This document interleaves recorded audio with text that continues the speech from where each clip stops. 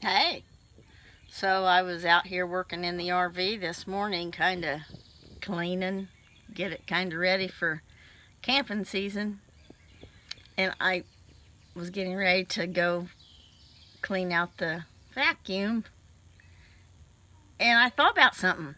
So if I clean out the vacuum cleaner, I mean, technically, wouldn't that make me a vacuum cleaner?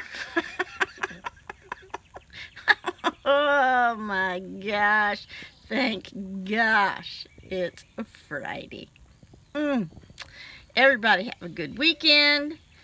Put your 3D fiber mascara on. And if you don't have any, shame on you. You need to go to my website. Toodaloo, my sweets.